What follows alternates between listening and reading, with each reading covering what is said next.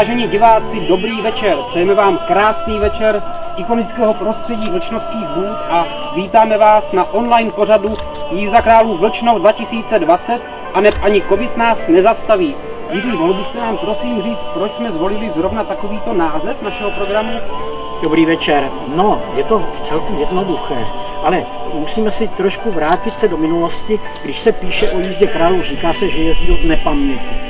No je strašně dávno, kam nesahá lidská paměť, ale aspoň 120 let je ve Vlčnově zmapovaný počet králů z jejich jmén a daty narození. Teď si představ, že v novodobé historii jenom dva roky se jízda králů nekonala. 1952 a 1960.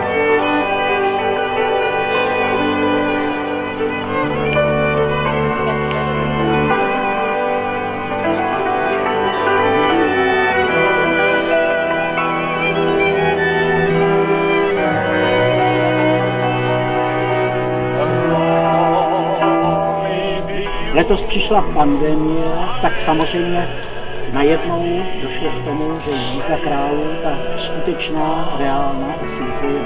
A já nakonec vím, že to byl vlastně především ty, kdo to spískal, ten dnešní projekt, že tedy jízdu králů si připomeneme, že si ji prožijeme, byť to bude poněkud zprostředkovaně. Ale máme všichni srdce, tak víme, že když něco nejde zvnějšku, že si to prožijeme aspoň uvnitř.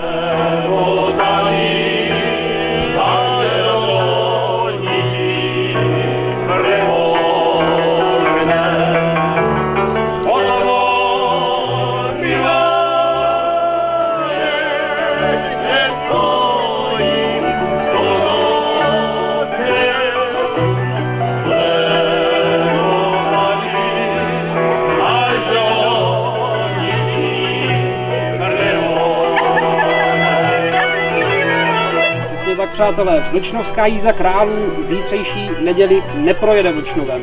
Ale my jsme vás o tuto tradici nechtěli uchudit, proto jsme vymysleli tento trochu improvizovaný pořad. Ale Jiří, řekněte mi, proč se vlastně scházíme ve Vlčnovských bůdách, když to gro, celá vlastně ta objížďka krojovaného průvodu se odehrává právě důle v dědině. Proč jsme vlastně tady v těch bůdách? No, zas na to je celkem jednoduchá odpověď, protože e, ve jiných sklepech, bůdách a v hospodách se vždycky rozhodovaly ty nejdůležitější události. Je nepochybné, že legrouti, když se domlouvali, že budou připravovat jízdu králů, že se budou domlouvat na tom, koho králem zvolí, jak jízda králů bude probíhat, že určitě využívali vlčnovských vůd. Je to prostředí, které patří k Vlčnovu, protože Vlčnov má jízdu králů, ale má také vinohrady, má vůdy, je to ideální prostor pro setkávání lidí.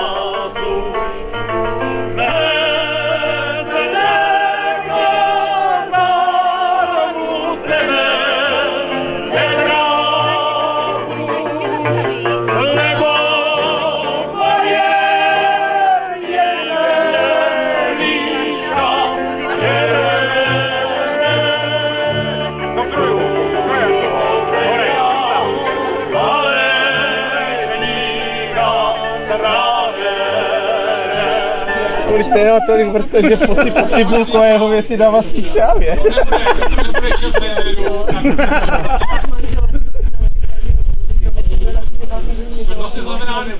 nesedu. Moja žena by řekla, a na tomto se ukazuje, jak staré a zaprané ty košile už máte.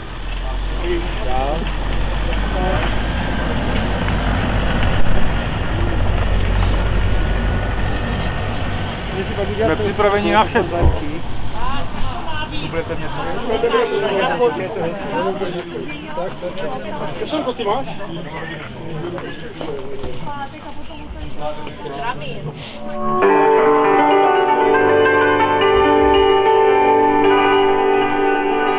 Jsem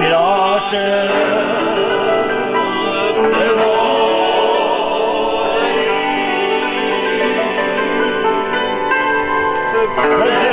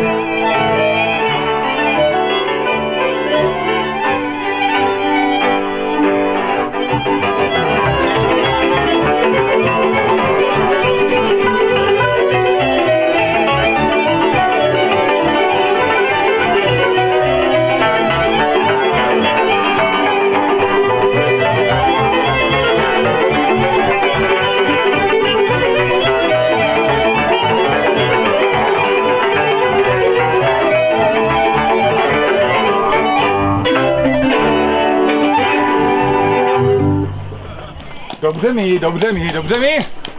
Děkujeme děvčice. K tomu ještě toho Erika.